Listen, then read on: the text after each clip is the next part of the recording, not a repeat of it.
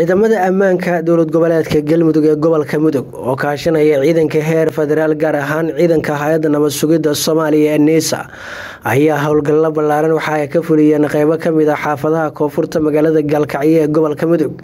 Howlgalkaasoo ahaa mid lagula dagaalamayo kooxaha ka ganacsada maanduuriyaasha kuwaasoo la aaminsan yahay in ay ka dambeeyaan falal amni darro oo ka dhacay magaalada gaalkacyo howlgalkan ayaa inta uu socday dadka ku nool xaafadaha koonfurta magaalada gaalkacyo waxay maqlayeen rasaas ay ridayeen.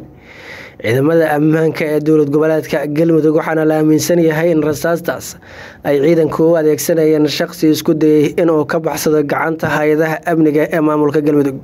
Maamulka degmada gaalkacyo iyo taliska ciidanka booliiska ee galmudug oo warbaahinta la hadlay ayaa dhinaca kale waxay ciidamada ku bogaadiyeen sida ay u gudanayaan waajibaadka ka saaran la dagaalanka kuwa khatarta ku ah amniga gobolka mudug gaar ahaan magaalada gaalkacyo duqa degmada gaalkacyo iyo taliyaha qeybta booliiska gobolka mudug oo howlgalkaasi marka uu soo ilaaday warbaahinta la hadlay ayaana waxa ay sheegeen in shacabka gaalkacyo looga baahan yahay inay gacan ka geystaan?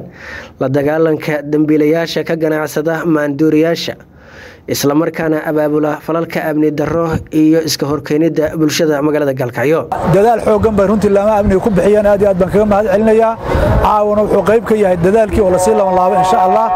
Howlgalkan oo joogto noqon doona biidni illahi tacaala ilaa iyo muddo. Inta lagu xaqiijinayo amniga magaalada idil insha allah.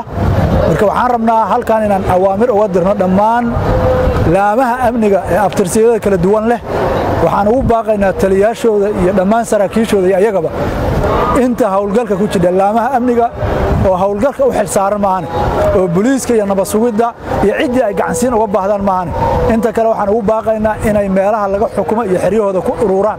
Ee aysan jirin cid magaalada hub la dhex marta aysan jirin cid magaalada soo dhex aadda oo hub la soo aadda si lagu xaqiijiyo amniga. Waayo waxa laga shaqaynaya waa amni. Waxa la sugayana waxa weeye in hub sharci daraa iyo culaysyo magaaladan dhexdeeda runtii lagu maamulo.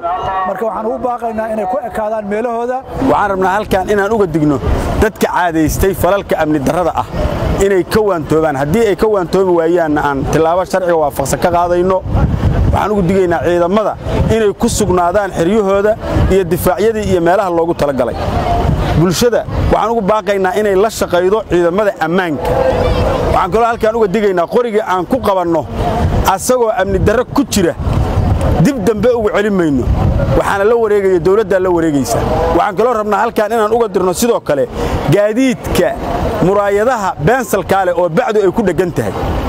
Ma ogolin howlgalkan ay ka fuliyeen ciidamada ammaanka maamulka galmudug koonfurta magaalada gaalkacyo ayaa ku soo aaday xili sidoo kale dhinaca waqooyi ee magaaladaasi ay ka socdaan howlgallo ay wadaan ciidamada ammaanka ee dowlad goboleedka puntland kaas oo lagula dagaalamayo si wadajira kooxaha ka ganacsada maanduuriyaasha islamarkaana inta badan ka keena dalka itoobiya oo xaduud la leh gobolka mudug ee bartamaha soomaaliya. Marka la eego daanta galbeed ee gobolkaasi saraakiisha labada dhinac ayaana waxa ay horey u sheegeen in maanduuriyaasha kuwa ka ganacsada ay ka mid yihiin kooxaha khatarta badan kuwaasoo u baahan in laga sifeeyo magaalada gaalkacyo si magaaladu ay u hesho xasilooni guud. Colindhacdasiib ee muqdisho.